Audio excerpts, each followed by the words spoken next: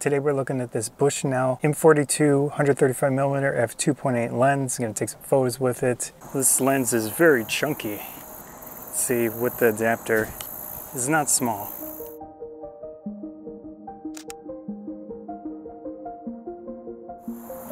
It's going to be a challenge today with the wind, manual focus lens, plus it's 135 millimeters, and then you've got the crop on there. So, see how it goes.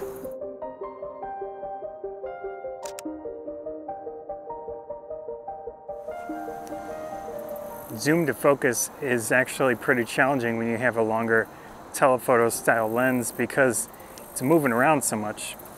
And then you get the sensor readout that's shaking it and wobbling it. This looks like about the minimum focus distance from the water to the lens.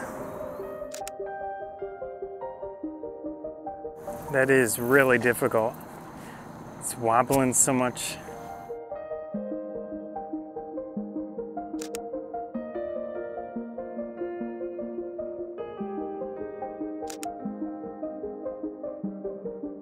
The way I have this set up is the AF MF button is switching between the screen and the viewfinder.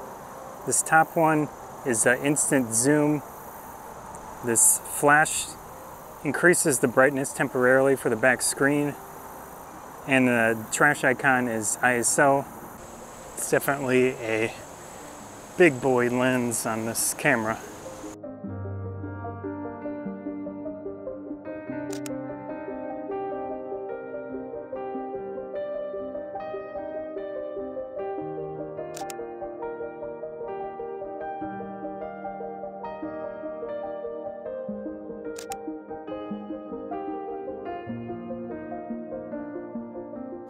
One thing you will definitely learn to slow down when you're doing stuff with a manual lens like this, plus the longer focal length. Of course, I'm controlling aperture on the lens, shutter speed in the camera.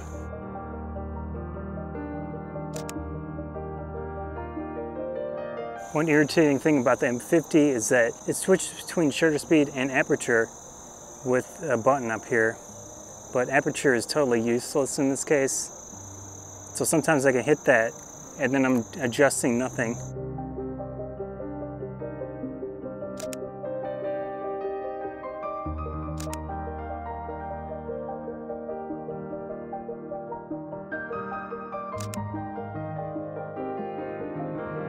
The specific lens, there is a nice long focus throw on it. It's smooth, but still pretty tight. So that's good and bad. This takes a little more effort to focus than you might need to otherwise, but it's an old lens.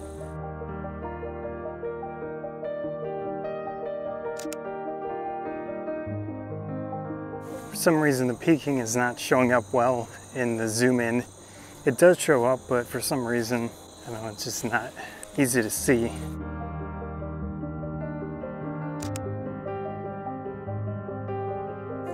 Still using the lens around f5.6. Going to, this is a good photo op.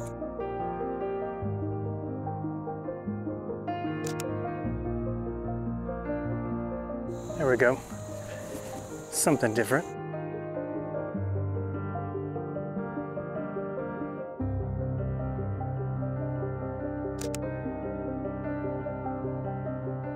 For this one, I don't need to be too exact.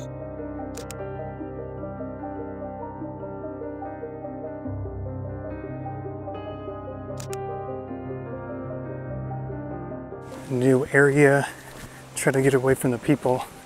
I have a mask with me just in case, but it is very dark, although beautiful.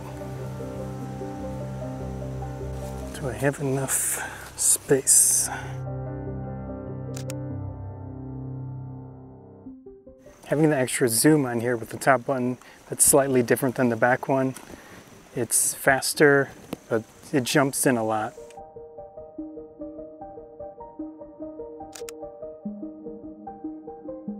Last time I was here, there was water in this area, so new look to everything.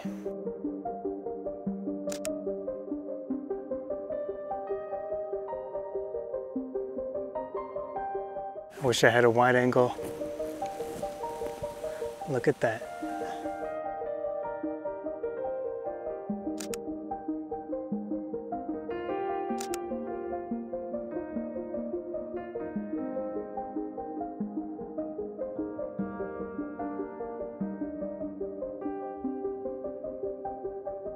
The light is being extremely variable. Got some mushrooms here.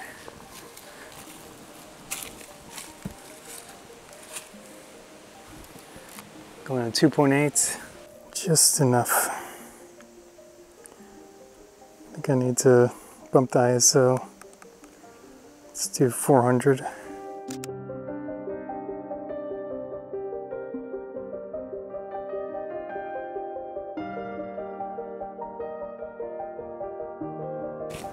This must be the stream. Last time I was probably coming through here. See if I can get a shot of that. Like how those trees are coming in. Put the large one on there. At this point, I'm pushing the M50. This does not like the dark.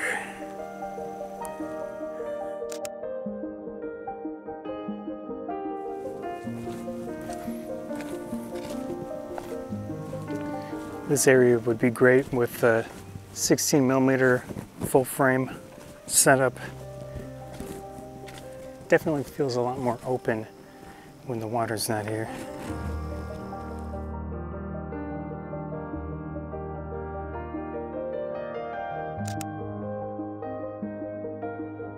Let's try to get a closer photo here.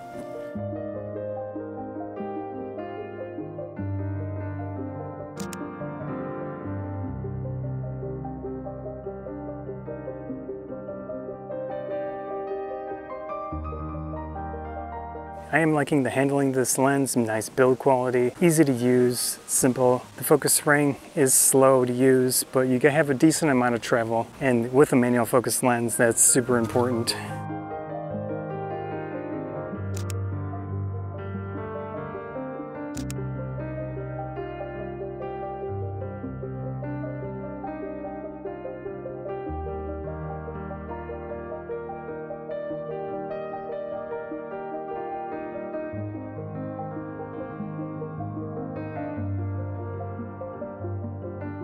When you go through dense bush like that, you want to have your tripod in front of you because the spiders lay their traps through there and it'll hit your tripod and they'll get right on your tripod.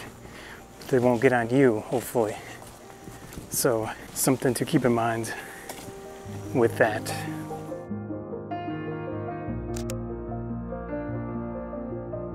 I'm very curious to see how the photos turn out. Of course, you're seeing the photos as this is going. Hopefully it's decent. I like the 135 millimeter. It is a crop, but it can work well in some situations.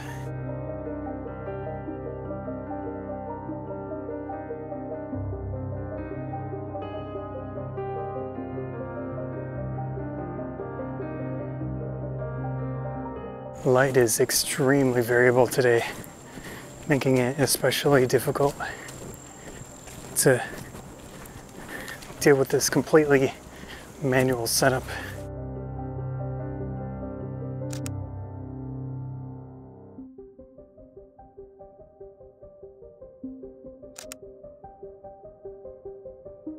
The EF-M stuff is decent for these type of manual focus, older film mirror lenses but there are drawbacks. It's a small camera. You're dealing generally with heavy lenses and the viewfinders in the EF-M stuff so far are pretty small. They work, of course, but I would like something larger. I think having a full frame sensor would be nice to really go well with all these 35 millimeter film era lenses. You can use a speed booster, which I'm experimenting with.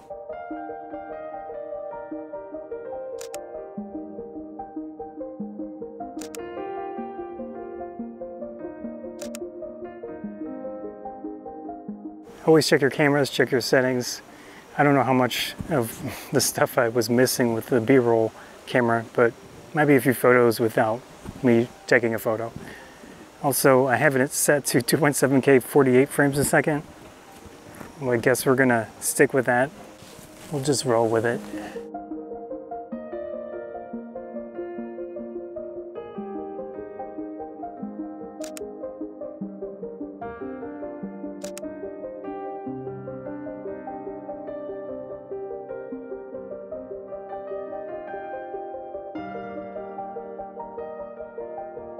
This be a lot of walking, not much else.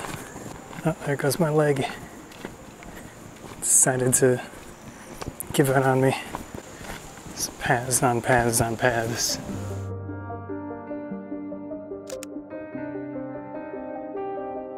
That working distance on this lens is not great.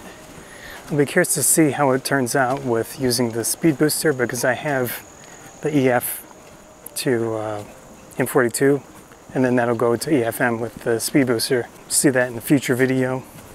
But for this one, just have to deal with that. It's like a never ending, super thin path. This will be my last spot for the day. Interesting structure. Basically a picnic area. It's off the beaten path. It's kind of difficult to get to. And you can see graffiti, of course.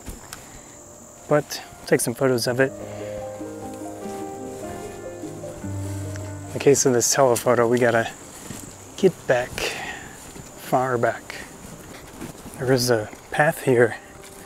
So at one point, they had a nice path going up to there, and it's pretty neat.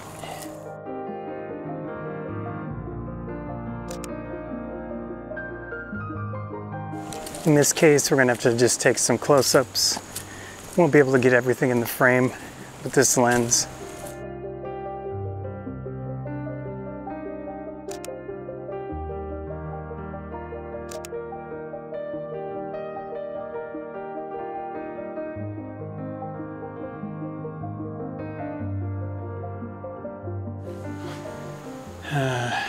disappointing seeing this beer cans,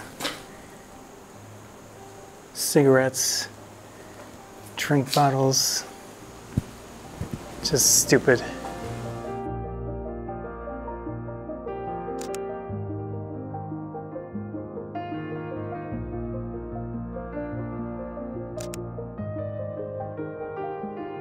That was the first photo outing with this Bushnell 135mm f2.8 M42 mount lens adapted to the M50. Hope you enjoyed the video. If you did, please consider subscribing. That helps me out a lot. Likes and shares help out a lot as well. And also the applause feature is there if you want to check it out. Scott V Banzai, thanks.